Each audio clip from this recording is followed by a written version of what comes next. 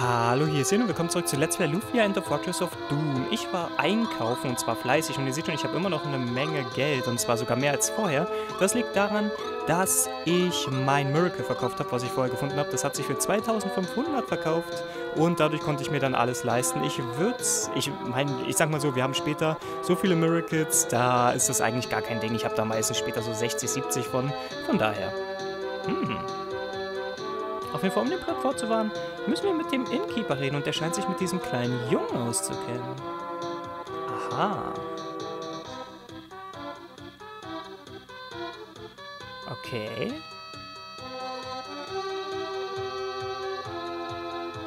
Ah, das macht aber Sinn.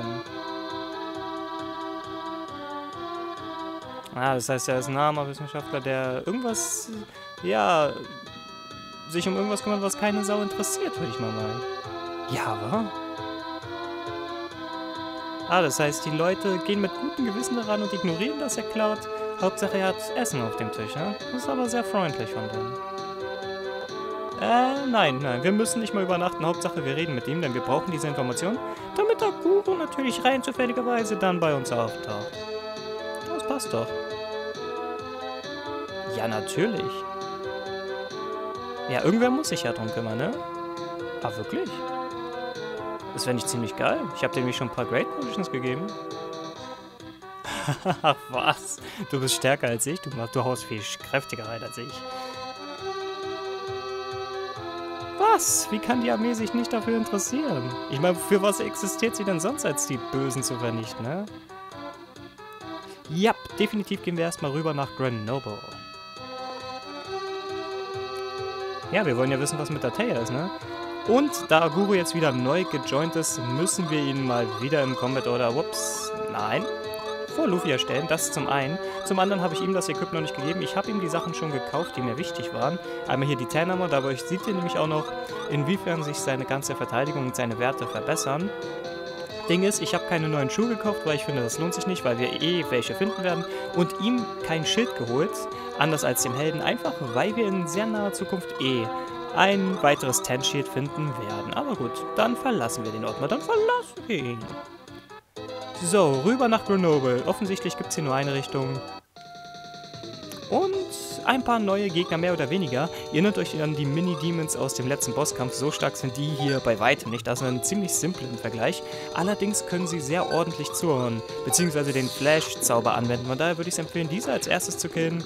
Die Bohrworms sind nicht wirklich eine große Gefahr. Ihr seht schon, die ziehen kaum noch was ab. Ja, aber dennoch gewappnet sollte man definitiv hier sein. Ihr solltet in etwa auf meinem Level sein, falls ihr das Spiel selber hier spielt vorzugsweise natürlich höher, aber es muss nicht sein. Also ich zeige natürlich gerne, dass das Spiel ohne Level... Ah, hat mir null abgezogen, du Schwächling. Aber ich zeige gerne, dass das Spiel ohne Level Grinding machbar ist. Aber es macht mir so einfach mehr Spaß, weil Level zu grinden und dann die Gegner so easy zu vernichten, das ist einfach nicht das Wahre für mich.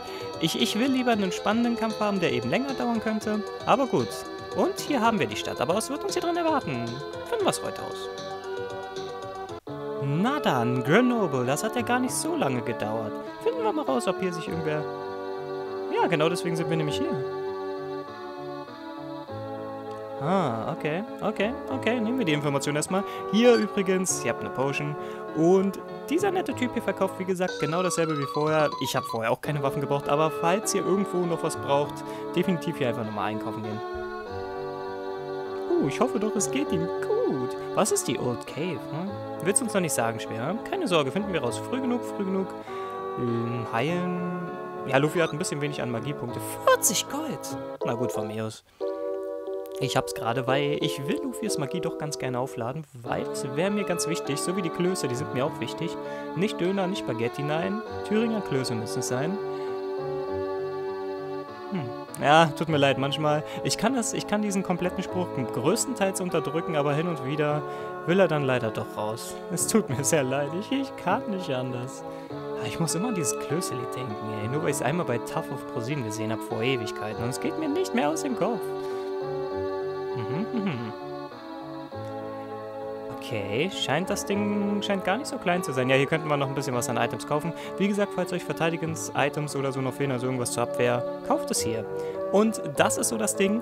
Ich bin der Meinung, wir müssen wirklich tatsächlich jedes Mal, wenn wir hingehen, die 50 Gold zahlen, was ein bisschen blöd gemacht ist vom Spiel. Aber dafür kriegen wir auch eine Speed Potion. Auf jeden Fall später. Und... Oh ja, die Old Cave hat eine Menge an Truhen. Wirklich, wirklich massiv viel. Und hier finden wir noch eine Spell Potion. Spell Potion geht definitiv an den Helden. Zack, Dankeschön. Bisschen mehr Magie schadet eigentlich nie. Übrigens, hier, ihr seht schon, dieser nette Typ hier, der steht nämlich hier auf der Seite. Wenn wir versucht hätten, von der Seite hier hochzukommen, würde er uns immer den Weg versperren. Das ist so ein bisschen blöd gemacht vom Spiel. Aber gut, ich nehme es einfach mal so hin. Genau. Auf jedem fünften neuen Level, den wir haben, können wir ein weiteres Mal in die Old Cave gehen. Das ganze Ding hat nämlich ich denke mal, so viel kann ich sagen. Sieben, ich glaube wirklich sieben Floors und das geht eben hoch bis Level 35. Das heißt, ihr müsst mindestens Level 5 sein für die erste, das solltet ihr definitiv hier sein. Und dann, wenn wir Level 10 sind, könnten wir direkt nochmal rein und so weiter und so fort. Aber je nachdem werden natürlich auch die Monster stärker, ne? Hm, kennst du einen Natea? Für dich sind wir hier. Ah, wirklich? Bitte, erzähl mir mehr.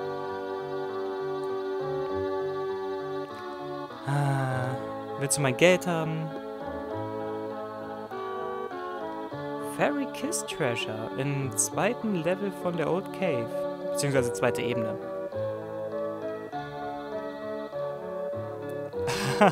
Merkt euch das mal für später, weil das ist wirklich ganz interessant gemacht vom Spiel. Nur Frauen können dorthin gehen. Merkt euch das, merkt euch das mal. Aber gut, holen wir ihm diesen Frauenkiss mal. Das, so funktioniert die Old Cave immer. Ihr könnt in die Ebene gehen, ihr könnt alle Schatztruhen holen, die es dort gibt. Allerdings gibt es dort einen besonderen Schatz, den diese Leute hier haben wollen und dafür geben sie euch eben ein gewisses Maß an Gold. Wobei man diese Sachen teilweise im normalen Shop für mehr Geld verkaufen kann.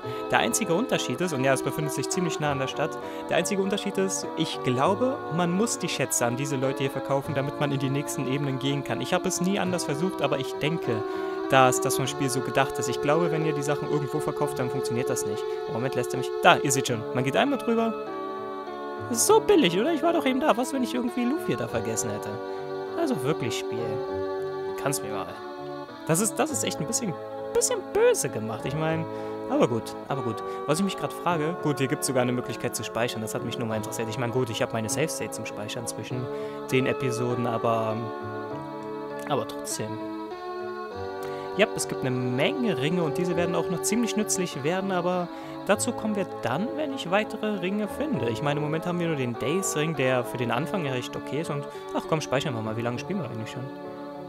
Ich würde gern speichern. Äh, ja. Alles klar, na dann rüber zur Old Cave. Die ist glücklicherweise nicht so weit von hier entfernt. Ah, wir haben sogar neue Gegner, und zwar die Ruzards. Diese sollten eigentlich mit einem Flash-Spell von Luffy ziemlich schnell down gehen. Ich hoffe es zumindest.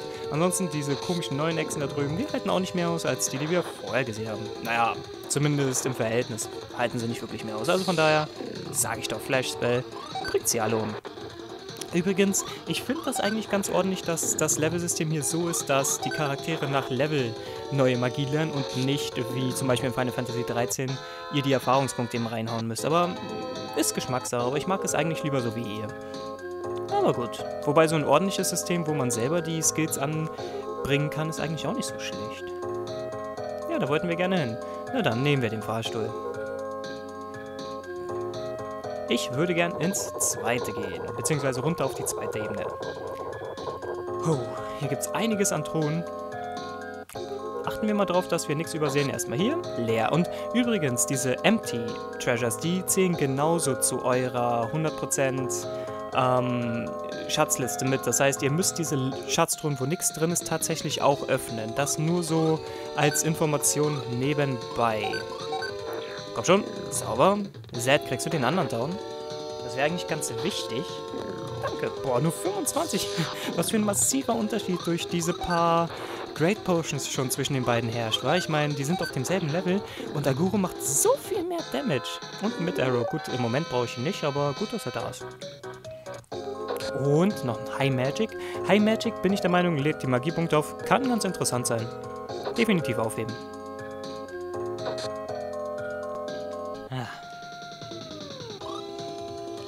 Gut, eigentlich wollte ich den Kampf schneiden, aber jetzt kann ich das mal zeigen. Und zwar ist Lufia jetzt wirklich in der Lage, gut, ich meine, im Moment sollte sie sowieso sein, weil sie jetzt so ein hohes Level hat. Im Vergleich vorher war sie ja, glaube ich, Level 5, wo sie das schon hätte machen können, aber ihr seht schon, Giant Bats sind komplett alle One-Hit mit einem Dew-Spell. Finde ich ganz nützlich. So, hier drüben nehmen wir die mal kurz mit, die empty ist. Hier ist auch nochmal empty und um weiterzukommen, müssen wir erneut den Float Spell zaubern. Solltet ihr also definitiv hier schon haben. Ich bin der Meinung, irgendwo hier war sogar noch eine Truhe. Yep, eine Ex-Potion, alles klar. Dürfte die Lebenspunkte komplett voll machen, wie in Final Fantasy. Noch eine Potion, noch ein Sleep Arrow. Sleep Arrow wird über, über, äh, interessant, sag ich mal. Es wird noch interessant. Ah, okay, noch ein paar neue Gegner. Und zwar Rats. Eigentlich nichts Besonderes. Gibt einfach ein Flash-Spell drauf und die Viecher sollten down gehen. Auf jeden Fall, wie gesagt, Sleep Arrows sind eben in der Lage, Gegner einzuschläfern. Und das wird für einen speziellen Kampf ziemlich wichtig, weil der sonst sehr schwer zu bewerkstelligen ist. Ich denke mal, so viel kann ich sagen. Mann, seid ihr schwach. Gosh, Akuro 35, der hält dagegen nur 31. Aber wir können dem Held gleich ein bisschen Abhilfe schaffen, damit er ein bisschen mehr Damage steht. Und zwar ist hier der Power Ring versteckt. Diesen will ich den Held geben. Und zwar, der Power Ring erhöht zwar die physische Angriffskraft und deswegen wäre es eigentlich ganz cool, das Aguro zu geben. Aber ich finde, Aguro braucht doch seine Magieresistenz. Ich meine, er hat so geringe. Und wenn ein starker Zauber kommt, dann wäre er wirklich One-Hit. Und das wäre ganz schön kacke. Na, immer diese dummen Random Encounter. Auf jeden Fall, wenn wir Float benutzen, bin ich der Meinung, dass es aufhört zu wirken, sobald wir von einem dieser Stellen runtergelaufen sind. Das heißt, wenn ich jetzt nach oben laufe... Nein, es wirkt noch. Okay, wahrscheinlich, weil Aguro in dem Moment noch auf dem Matschboden war. Gut, das würde das zumindest erklären. Gut, gut, gut. Auf jeden Fall, hier gibt es nochmal einiges an Truhen. Empty. Float. Float-Item funktioniert übrigens genauso wie der Float-Spell und den werde ich auch direkt hier benutzen, weil er mir sonst einfach quasi einen Itemplatz wegnimmt und das lohnt sich nicht, weil ich den Zauber eh besitze. Und hier kriegen wir noch ein Ten-Shield, deswegen habe ich nur eins gekauft und ein Drachenei. Dracheneier sind ziemlich wichtig in diesem Spiel, wenn es funktioniert so ähnlich wie mit den Dragon Boards. Ihr findet die richtige Anzahl davon, beziehungsweise alle, und könnt euch dann etwas wünschen. Allerdings gibt es dazu noch ein bisschen mehr zu sagen, aber ich denke mal, das erkläre ich später. Was wollte ich jetzt machen? Ach ja, das Equip. Das Schild, bitteschön. Aber was genau noch hinter den Dracheneiern steckt, ich werde es ein bisschen später erklären. Ein bisschen später. Und hier finden wir nochmal Cloth Shoes. Deswegen habe ich diese vorher auch noch nicht gekauft und gebe sie dem Helden, weil er definitiv in der ersten Runde wohl die höchste Verteidigung baut. Schaut mal, wie hoch die von Aguro ist. Das ist Psycho. Psycho. Jedenfalls, seht ihr schon, nur Frauen dürfen rein. Ich weiß nicht wie. Das, das, ist, das ist so genial. Ich meine, schaut mal. Nur Frauen dürfen rein. Es ist nur ein Schild dort, worauf steht, nur Frauen dürfen rein. Und aus diesem Grunde geht nur Luffy rein. Und deswegen hat der alte Mann nämlich gesagt, er kommt selber nicht an diesen Fairy Kiss ran. Interessant irgendwie, oder? Ich meine, so ein einfaches Schild, es gibt keine Wachen hier, aber hey, wir halten uns dran. Jedenfalls sind hier die letzten fünf Schatztruhen drin, die wir definitiv haben wollen. Ein Dress, ein Hairband, Heal Juice, die können wir, meine ich, sogar Luffy direkt geben. Was? Die sind sogar schlechter? Aber die haben mehr... Gut, die haben mehr Angriffskraft. Das wäre das einzig Interessante, aber lohnt sich meiner Meinung nach nicht, weil sie greift physisch sowieso so selten an. Da ist mir das nicht wert. Solange sie magiert, zauber ich eigentlich lieber. Und da haben wir den Kiss, den der alte Mann unbedingt haben wollte. Und ein paar Earrings, aber ich denke, das kann ich dir doch geben, oder? Das dürfte von Vorteil sein. Auch nicht. Ah, ich sollte mal ein bisschen mehr meine Augen auf dem Walkthrough haben, wenn ich schon so Müll erzähle hier. Jedenfalls, das wäre alles. Eigentlich können ja auch random Encounter kommen. Aber gut, ich hatte scheinbar Glück. Ich schätze mal, die Encounter-Rate ist dort viel geringer. Alles klar. Dann gehen wir zurück nach Grenoble. Aber was wird uns der alte Mann Schönes erzählen, dafür, dass wir ihn in den Fairy Kiss bringen, ha? Huh? Finden uns raus beim nächsten Mal in Let's Play Lufia and the Fortress of Doom. Bis zum nächsten Mal, bis dahin und bis dahin.